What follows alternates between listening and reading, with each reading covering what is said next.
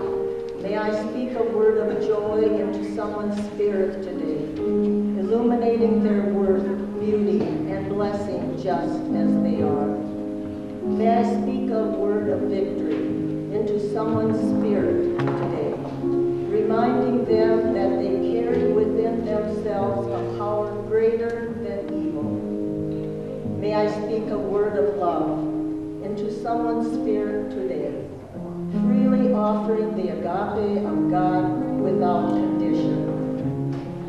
May I speak a word of peace into someone's spirit today, offering the quiet strength of res- restraint over retort. As I prepare to offer these gifts of the Spirit, may I recall that I cannot offer what I do not have. Therefore, may hope, joy, victory, love, and peace reside within me as well.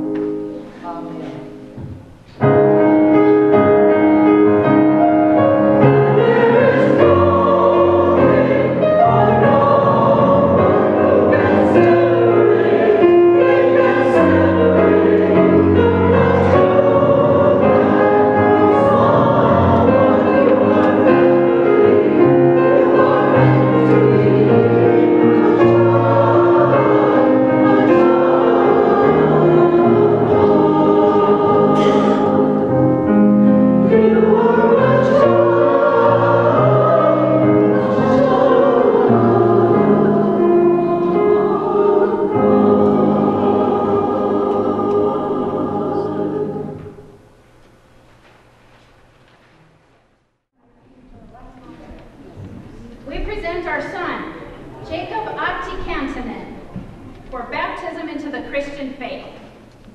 With those words, we brought our firstborn child up the aisle of our church, and we stood up in front of that church with my sister and Lee's brother as sponsors for that child, and together we made the baptismal vows that Jacob would later repeat for himself at his confirmation. This Lenten season, we are going to remember those baptismal vows that we have either made for ourselves or that someone who loved us very much made for us. We don't have as much opportunity to hear baptismal vows here at Hubbard as we would like, but they are an important covenant that we make with God and before God and with our church community.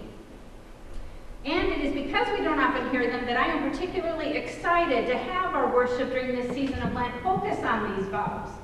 I believe it'll be a good reminder for all of us of the covenant we have made with God and with the community that we are a part of.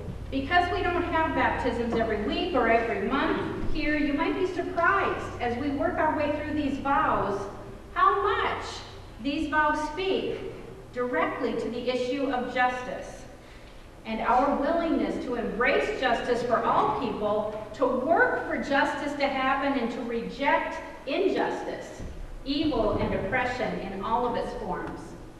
So even as we focus on our baptismal vows, we will also be hearing again a call to justice.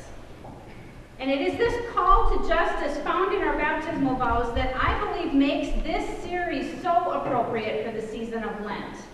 Justice is always a difficult subject, sometimes a painful subject, because the idea of justice and the practices of injustice are never things that are out there somewhere that only concern other people. In order to address justice issues, we have to be willing to look inside ourselves. Lent is a season of repentance, and any call to justice requires that we first look inward to see where we have failed, where we have allowed apathy or ignorance to hinder our working for justice, where we ourselves may have been unjust or have been a part of systems of injustice that hurt other people. And believe me, I understand that this can be painful work. These are sometimes painful sermons for me to work on because I have to face myself before I can ever speak a word to any of you. Repentance and becoming just people are works that take place deep in our spirits, oftentimes too deep for words. And I am really grateful for the work of our choir, for the work of our musicians and the musicians who have composed the music that we will share this season. Because as many of you know, music has the ability to take us places within ourselves that words alone cannot. In order to even begin or approach this Lenten work of repentance, I believe we have to be absolutely clear on who we are. And that is one of the first things that happens when we are baptized. We are named and we are claimed. Remember the story of Jesus' baptism? When he came up out of the water, immediately we are told, the heavens opened and a dove descended, and then the voice of God spoke. And that voice said, This is my son, whom I love. With him I am well pleased. In those words, Jesus received from his Father acceptance, this is my son, affection, whom I love, and affirmation, with him I am well pleased. now, believe it or not, and I still find this amazing, God feels the same way about each one of us. Is that not amazing? I can remember the first time that somebody told me that. I was actually in seminary when I began to understand that. I was sitting in a class on leadership of all things, and there was a visiting pastor who was there speaking to us that day. And I was in the front row the way I usually was because I wasn't going to miss anything. And I was in the front row of that class, and he said that. He said, God feels the same way about us as he did about Jesus at his baptism. God accepts us, God loves us, and God affirms us. And you know, my first reaction to those words was to want to scoot my chair back in case lightning struck. Because I thought he was speaking words of blasphemy. That was not the way I had been raised. And I thought, surely this is not going to end well in this classroom. And then when lightning failed to arrive, then I thought, I'm sure that the professor is going to kind of, you know, step in and gently correct this theology that he's spreading here and, and let him know that, you know, Jesus is certainly more loved and more affirmed and more accepted than we are. I mean, Jesus is the Son of God. And much to my surprise, the professor walked over right at that moment and he said, I want you to hear what he just said. And he repeated those same claims. Well, I had to go home and do a lot of thinking about that. I did a lot of Bible reading about that to find out who was wrong, them or me. And it was me. All of the preaching that I had listened to, at least what I had heard or what I had internalized, had not led me to understand that God felt that way about me. But what else can the Bible mean when the Bible says we are God's own children? Now, I wonder how many of us feel kind of like the black sheep of God's family. I have felt like that sometimes. How many of us are so much more aware of our faults, or if we're feeling positive, we say our growing edges, than we are about our gifts and how God delights in us. I remember a baptism that I did a while back. It was a family baptism of two grandchildren of someone who attends here, and it was at their lake home.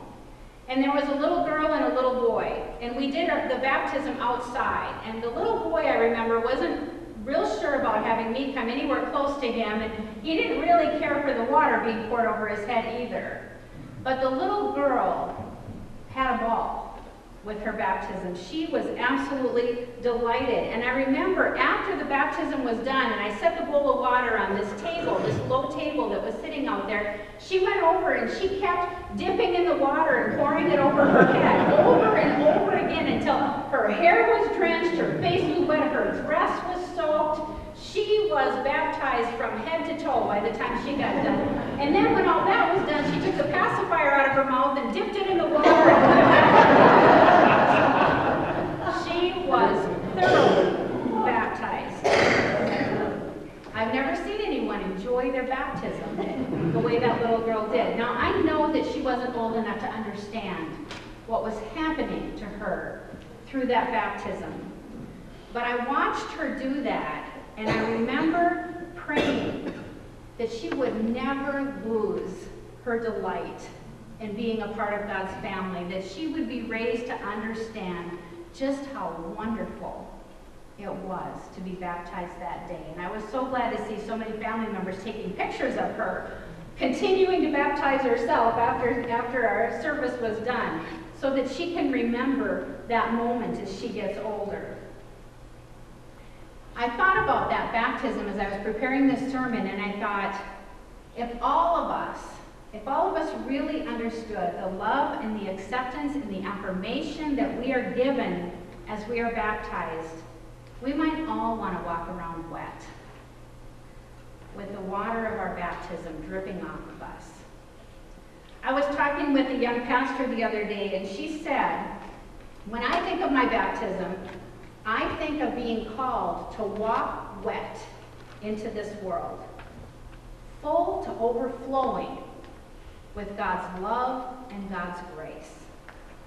Now, I don't think it's by accident that this particular pastor is devoting much of her time and energy to work that, that uh, centers around justice. It is when we understand how totally God accepts us and how deeply God loves us that we develop a desire for all people to have that same understanding.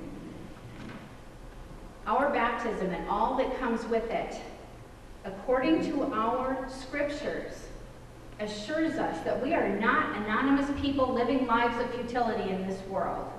No, we are children of Almighty God. We have a name and we have a family, and who we are is of great importance to God. And then, I believe we come to understand or to realize that all people are just this important to God.